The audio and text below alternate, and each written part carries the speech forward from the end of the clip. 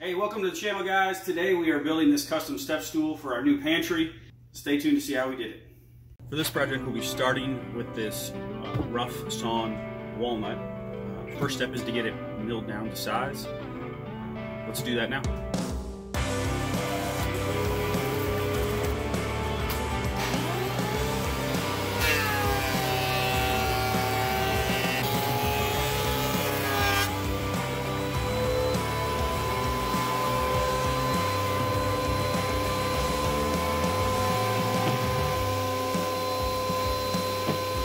So this piece is going to be the top. Uh, so we are going to cut it at 18 inches.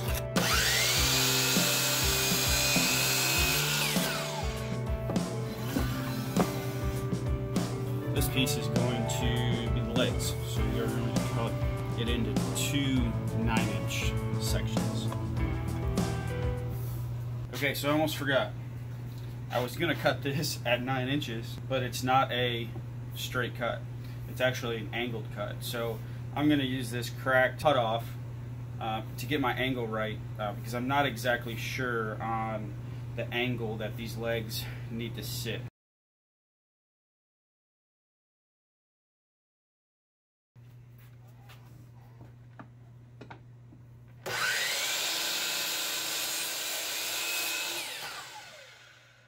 Remember, this is my, my scrap test piece. The leg is going to sit like that. This degree ended up being seven degrees. So I'm trying to figure out how to cut these legs the same size, the same length, um, because I do have the seven degree miter on them, um, on the ends. So I think if I line up these and make them flush, even though they're going at an angle, if I cut right here on my angle, I think they'll be the same size. Because I do need the two angles like this um, going the same direction on each end. I don't know. Let's see if it works.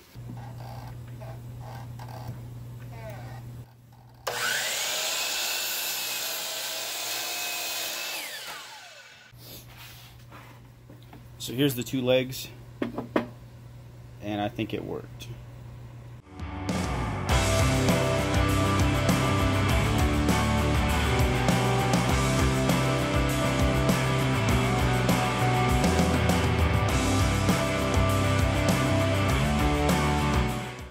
All right, so we got these pieces milled up and cut to size.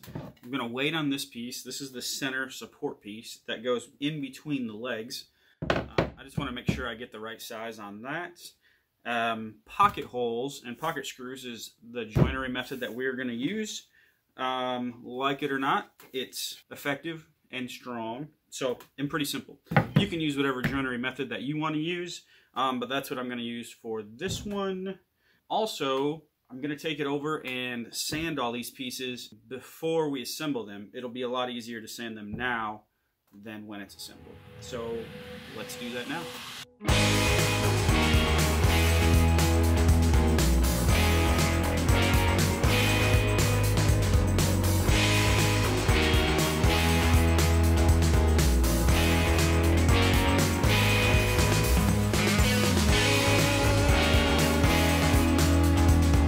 All right, everything is sanded. I've got my pocket holes uh, drilled, and now it's time to assemble the legs to the top. So let's do that now.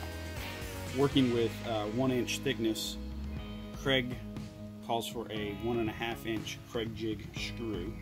Well, I don't have any one and a half inch Kreg jig screws, but I do have these one and a half inch screws. So I'm all about making it work. So we are gonna do that.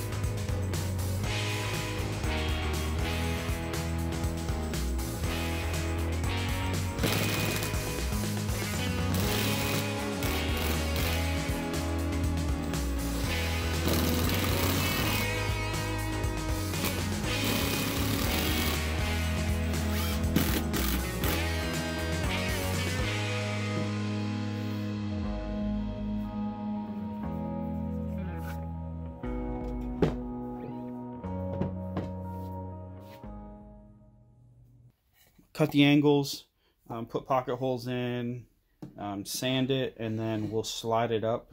And wherever it meets, kind of like right there, is where it will end up.